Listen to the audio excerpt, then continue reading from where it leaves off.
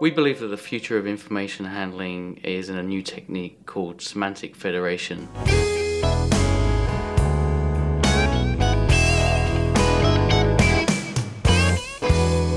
I'm Matt Cole, I'm Senior Vice President of Strategy and Business Development at Cubic Transportation Systems. I've worked for Cubic for nearly 10 years. I've been based in the UK, Australia, and now more recently the United States. We at Cubic Transportation Systems believe that there's a huge opportunity to improve the way people travel around the city with the intelligent data that we have within our systems by integrating some of the fare collection transactions which give you entry stations and exit stations on a railway network and then integrating that with a journey planning engine you'll be able to soon figure out which route people chose to go from station A to station B something you wouldn't be able to do if you just looked at the fare collection system or the journey planning engine alone.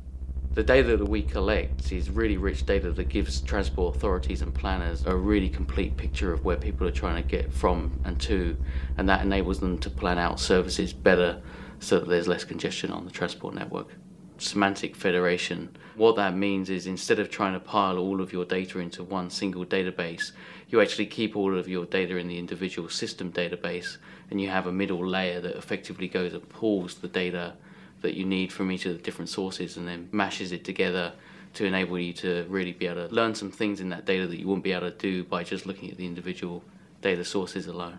Cubic addresses privacy issues by giving people a choice. They can either choose not to register, in which case they don't provide us with any of their personal details, or they can choose to register, in which case they do provide us personal details, and we keep that very safe. And that enables us to target a few more services and offers to them because we understand their habits a little bit better. The future of information management will be much more customer friendly.